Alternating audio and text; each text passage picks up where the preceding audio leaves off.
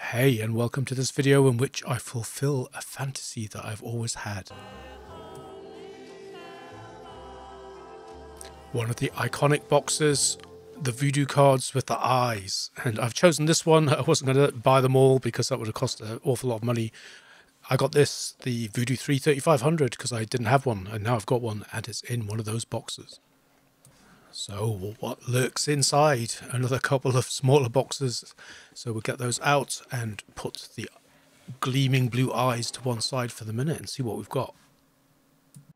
Straight away, there's a couple of things missing in here. There would have been a manual. There would have been a, a driver disc. There would have been a free game and a couple of special offers. Haven't got those, unfortunately. But the card is in there and the other bit which could cause problems when you buy these cards is this this thumping big blue purpley dongle thing. And there's a little bit of literature in there though not the actual user manual which is a bit of a shame. Also a little baggie with a couple of aerial adapters for the old analog TV cables. But yeah this thing look at it. Just look at it. It's uh, it's a thick cable. I would worry about that hanging off the back of a graphics card. It weighs a ton. It almost needs a specialist sort of force of men to deal with it. So this thing, despite adding lots of connectivity, it's got a pass-through cable. This is like, you know, it's a bit of a hark back to the, the Voodoo 1 and the Voodoo 2, that this card expects you to use this thing as a pass-through for your VGA cable. So the, the connector on the card, which we'll look at in a minute, is not what you'd normally expect. At the other end of it, we've got this. We've got a set of ins on one side and a set of outs on the other. So we've basically got we've got our composite connectors and an S-video connector. I could have chosen to compare this with the current crop of competition that it would have been up against in 1999. So that would have been primarily the TNT2 and the Rage 128 to a lesser degree the Savage 4 and the Matrox G400. But we're not going to do that. We're going to compare it with its younger sibling, the Voodoo 3 3000, which came out, I think, in April 1999 as opposed to July 1999 for the 3500.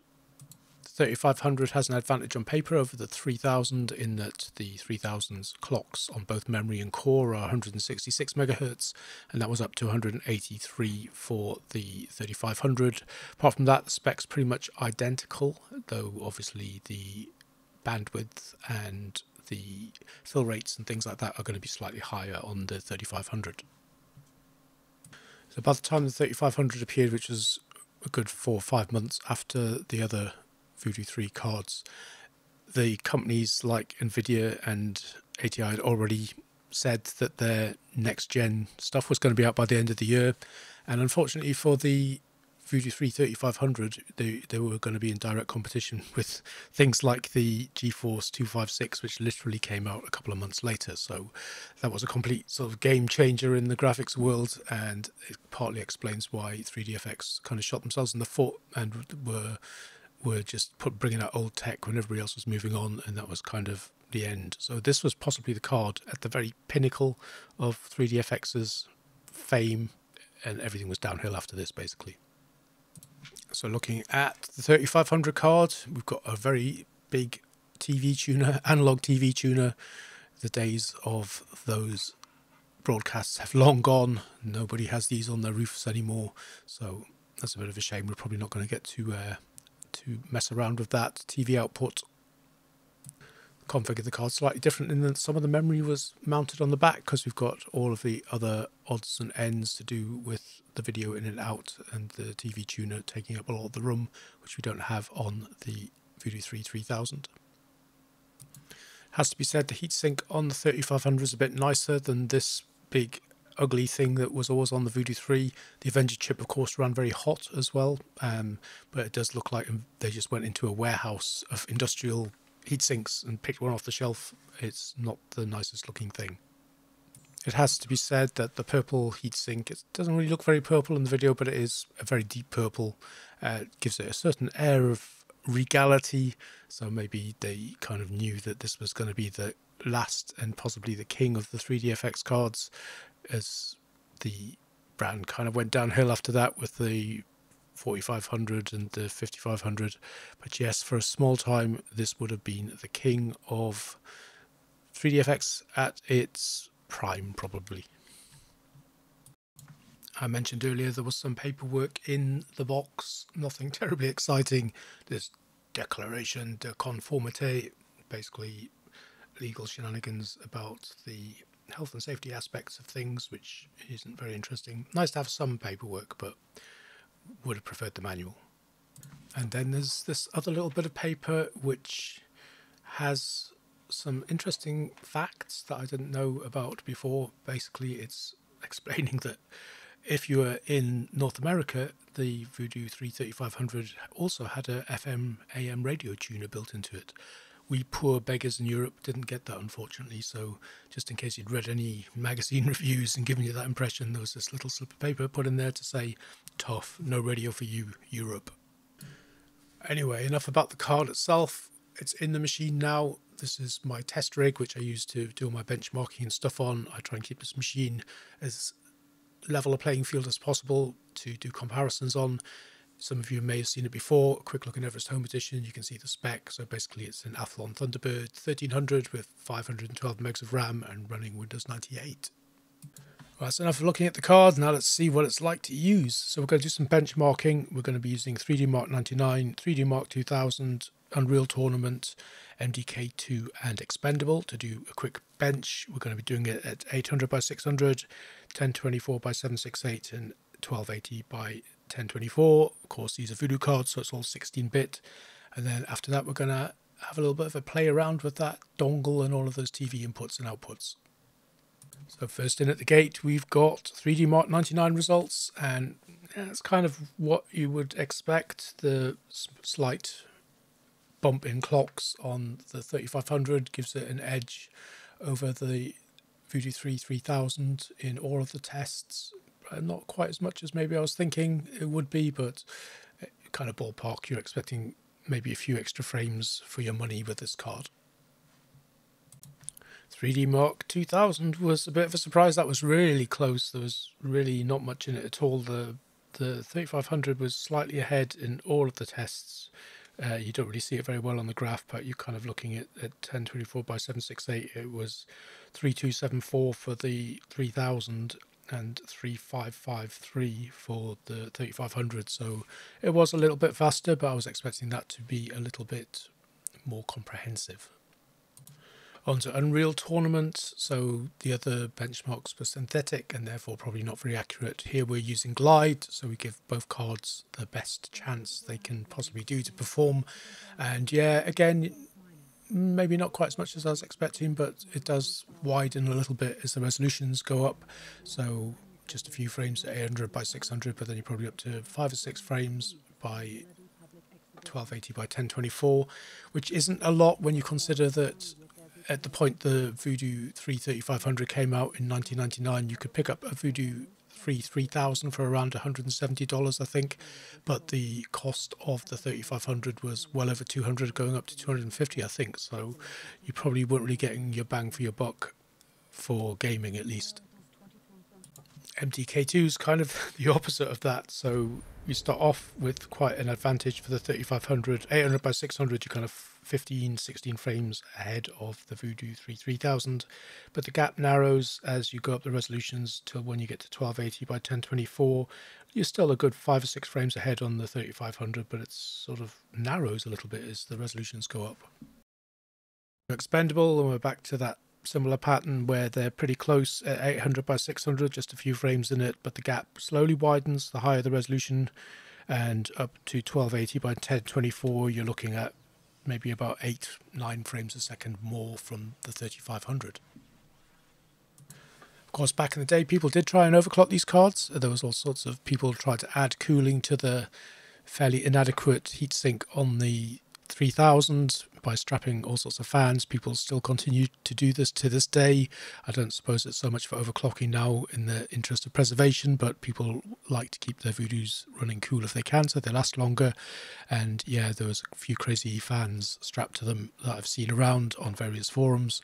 And of course, the boxes themselves, the uh, the AGP version of the 3000 didn't really give the game away, giving you the impression of a cooling green color, but the PCI version perhaps gave the game away with this kind of fiery, heat inducing looking color that they had on the box. It was interesting when I was looking at this fat Samsung TV tuner that's built onto this card. Back in those days, you know, Samsung were a name, but they weren't the big dominant force that they are now in the sort of TV world. So I'd say a considerable percentage. They were like the market leaders of televisions and in sort of certainly European TVs in people's living rooms, I think. And then suddenly, all of a sudden, now the Chinese companies like TCL are starting to muscle in on that, and it's just a weird change in technology landscape that back then in 1999 China was just celebrating 50 years as a communist country, very militaristic, making really shoddy gear, and nobody would have dreamt in their wildest dreams that they would have usurped companies like Samsung and pretty much everything that's in my modern PC build was probably made in China. Anyway, that was a waffling aside. Just something that cropped into my mind while I was looking at the Samsung TV tuner, thinking how I'd replace my Samsung TV in my living room with a TCL TV, and then thinking about how things had changed in China since 1999 when this card was made, and now they've pretty much probably made everything in my modern gaming rig. But here we're back to the card, putting in this chunky cable and we're going to see if we can mess around with it a little bit. When I first got the card I thought it had a DVI connector but it doesn't. It's actually a thing called a P&D connector which is something slightly non-standard. I don't think it connects directly to any monitors. I may be wrong.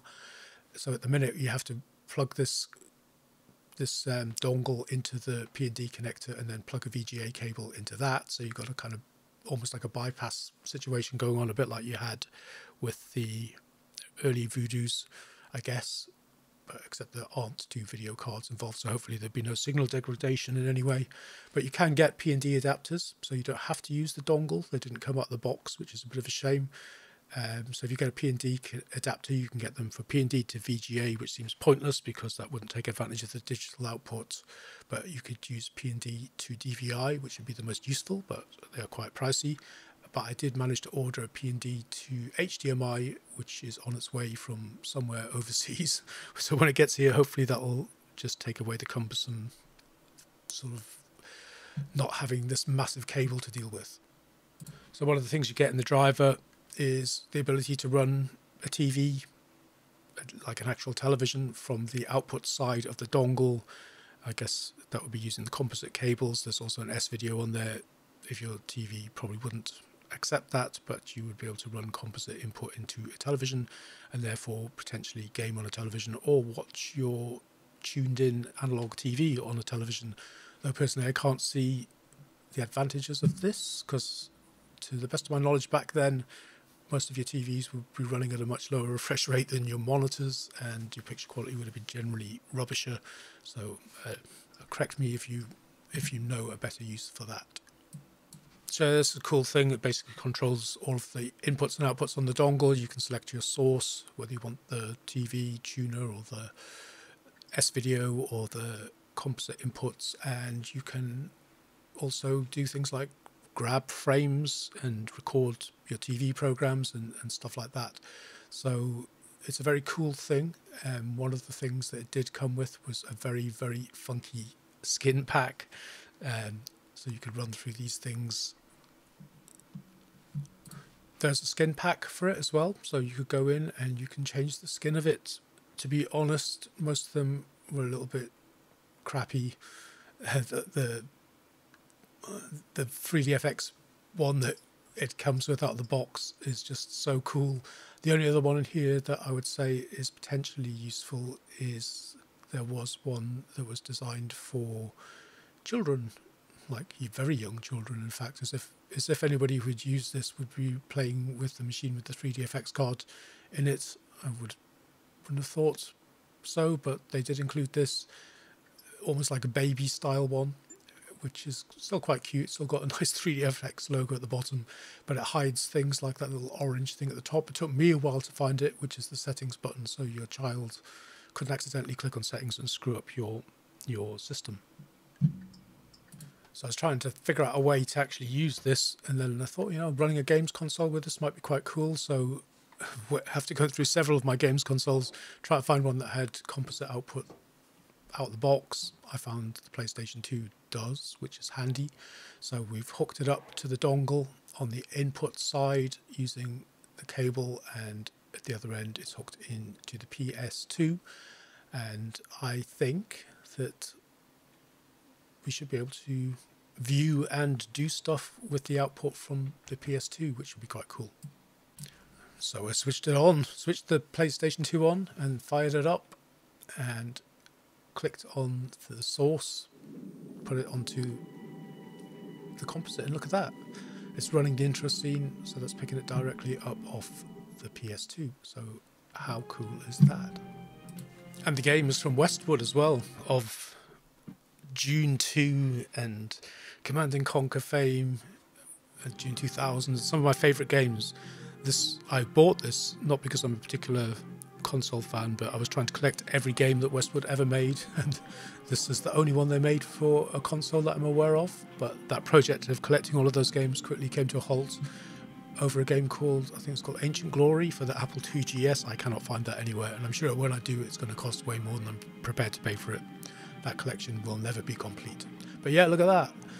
Actually running the PlayStation 2, that that's as big as it goes, unfortunately, so you wouldn't be able to actually use it to play on. It doesn't seem to scale up in any way.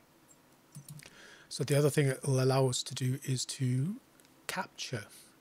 So we've captured what we've just played here by pressing the capture button, funnily enough. And look at that. We've got our own little movie recorded and yeah, that's cool. Of course, the resolution is pretty rubbish. That's as big as it goes when you play it back, but it's just cool to be able to do that. To take, uh, you know, so many people do that these days, capturing their games console gameplay for various reasons, and you could do it back in the day, albeit not to the kind of resolution you'd expect to now, but a file like that would be a good thing if you were making videos to record your console gameplay back in the day, you could well have used a Voodoo 3500 to do it. And that pretty much wraps the video up. It was fun playing with this card, uh, being able to have a little bit of a play with some of the inputs and outputs. It wouldn't be something that I'd want on a daily basis, having that big cable dongle thing hanging out the back of my PC. So if I was ever going to use this, hopefully when I get that adapter, I'll be able to convert the HDMI output back to DVI and be able to play games through it using that without having to get this thing out. But it was fun having a little bit of a play with it just to see, get an idea of how it works and how it might have been useful. But that was pretty much it. It's been a fun card to look at. I'm really glad I've got it in my collection. I'm really glad I finally got a box with eyes. It'll probably be the only one I'll ever splurge out for it wasn't as expensive as they all seem to be now. I think it was about 160 pounds or something like that it cost when I got it. Um, but yeah, nice to have one. Nice to have it on the shelf looking down on me, and I'm sure I'll get it out and then have a bit of a mess around with it every now and then. Don't want it just sitting on the shelf gathering dust. But that's pretty much it. I hope you enjoyed the video taking a look at this card with me. I hope you'll join me for the next one, and I'll see you later. Bye.